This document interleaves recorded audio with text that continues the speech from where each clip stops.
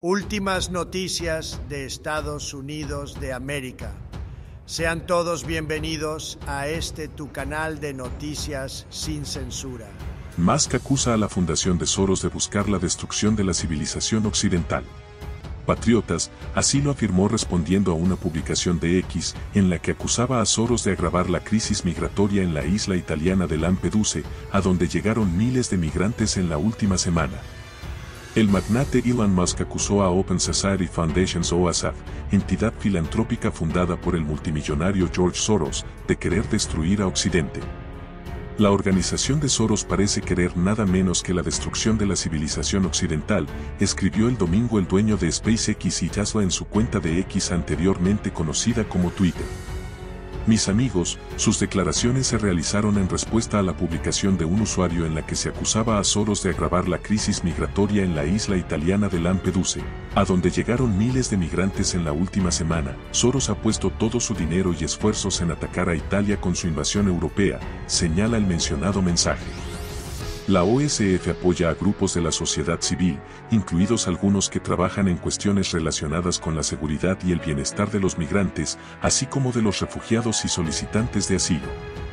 También te contamos en esta otra noticia, que Elon Musk nombra el país que liderará el desarrollo de la inteligencia artificial.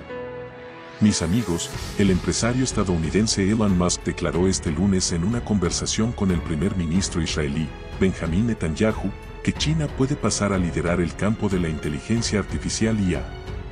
En cuanto a su pregunta sobre qué países tendrán un liderazgo significativo en IA, China es sin duda uno de ellos, uno de los primeros, potencialmente el número uno, le dijo Musk a Netanyahu. Además, el multimillonario señaló que los países deben crear los mecanismos para regular el uso y desarrollo de la IA. Si creas una superinteligencia digital, esa superinteligencia digital, si es especialmente poderosa y no se tiene cuidado, podría estar al mando de China en lugar de que Xi Jinping esté al mando de China, explicó Musk. El empresario subrayó que la IA puede representar una amenaza para la civilización humana, pero agregó que para prevenirlo los gobiernos deben desarrollar responsablemente la tecnología.